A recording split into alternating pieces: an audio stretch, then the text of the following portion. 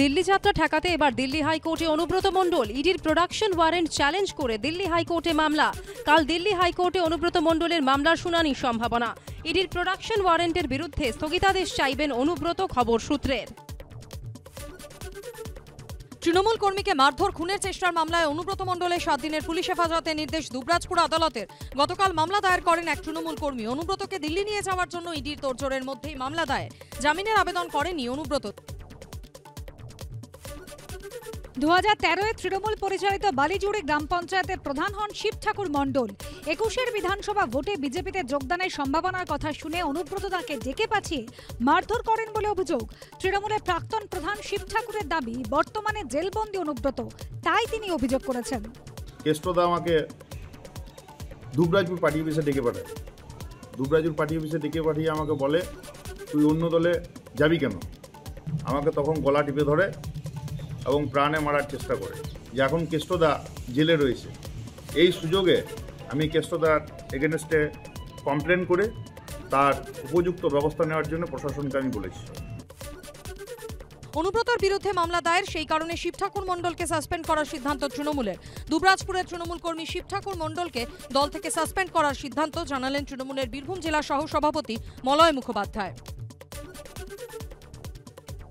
রাউস avenue আদালতের গতকালের নির্দেশে অনুব্রতকে পেশের কথা বলা হয়েছিল। রাউস অ্যাভিনিউ কোর্টেই পেশ করার কথা বলা হয়েছিল গতকাল। সর্বসমক্ষে এরকম নির্দেশের পরও কীভাবে অনুব্রত মণ্ডলকে দুবরাজপুর আদালতে পেশ করা হয়, হেফাজতের নির্দেশের পর প্রশ্ন ইডির খবর সূত্রে। অপরাধীকে বাঁচানোর চেষ্টা হচ্ছে, এর জবাব পুলিশ মন্ত্রীকে দিতে হবে। অনুব্রত মণ্ডলের পুলিশ হেফাজত প্রসঙ্গে মন্তব্য মোহাম্মদ সেলিমের। অপরাধীকে শাস্তি দেওয়ার বদলে তার বিরুদ্ধে কাগজপত্র জোগাড় করার বিধুনের বিরুদ্ধে ব- বদলে তো- তদন্ত করার বদলে তাকে কীভাবে বাঁচানো যায় তাহলে পুলিশকে এটা বুঝতে হবে আইপিএস অফিসারদের এটা বুঝতে হবে। তারা কতদিন প্রভুভক্ত দাস হিসেবে কাজ করবেন? পুলিশ গ্রেফতার করেছে মানেই মানুষটা বদলে গেছে তা তো নয়। অনুব্রতকে বীরের সম্মান দেওয়ার প্রসঙ্গে অনর থেকে প্রতিক্রিয়া ফিরহাদ হাকিমের। আচ্ছা গ্রেপ্তার করলে তো একটা লোক সুন্দরবনে একটা বাঘ যদি খাঁচায় যায় তাহলে সে বাঘ হয় না সে কি হরিণ হয়ে যায়? আইন থাকা মানে যে বীরের সম্মান দেবো না তা না দলের কেউ কেউ পদ নিয়ে দুর্নীতি করেছে। আমরা বলেছি তাদের পাশে দাঁড়াবো না। দুর্নীতি নিয়ে ফের বিস্ফোরক মন্তব্য সৌগত রায়ের। দুটো পচা আপেল সেগুলোকে আমরা ফেলে দেব। বাকি আপেলগুলোকে রক্ষা করব। আমাদের আটানব্বই শতাংশ কর্মী সৎ নিষ্ঠাবান সৌগত রায় শোভন দেবরা স্বীকার করছেন তৃণমূলে দুর্নীতি আছে। কিন্তু নিচের দিকে নয় তাদের তাকাতে হবে উপরের দিকে প্রতিক্রিয়া সুজনের। তৃণমূলে এখন যত বড় নেতা, তত বড় চোখ তলার দিকে তাকাচ্ছেন কেন? শোভনদেব বাবু অথবা সৌগত বাবু ওপরের দিকে তাকান। বারো চোদ্দোর পর কাল শুভেন্দুর একুশে ডিসেম্বর সাসপেন্স। তারিখ ঘোষণা করে মৃত্যু ডেকে আছে কাল সবাই সাবধানে বেরোবেন। বিজেপির থেকে দূরে থাকবেন। শুভেন্দুর একুশে ডিসেম্বর হুঙ্কার নিয়ে এবার পাল্টা আক্রমণ কুণাল ঘোষের। দিল্লিতে অমিত শাহ শুভেন্দু বৈঠক, রাজ্যের করা মামলা নিয়ে কেন্দ্রীয় স্বরাষ্ট্রমন্ত্রীকে নালিশ, বিরোধী দলনেতার অমিত শাহকে মামলার তালিকা সহ পুস্তিকা তুলে দিলেন শুভেন্দু অধিকারী। কয়েকজন আইপিএস এর বিরুদ্ধে অভিযোগ, স্বরাষ্ট্রমন্ত্রীর পাশাপাশি প্রধানমন্ত্রীর সঙ্গেও সৌজন্য বিনিময়। মুর্শিদাবাদের জলঙ্গিতে আবাস বিক্ষোভ। দেবীপুর গ্রাম পঞ্চায়েত অফিসে তালা ঝুলিয়ে দিলেন গ্রামবাসীরা।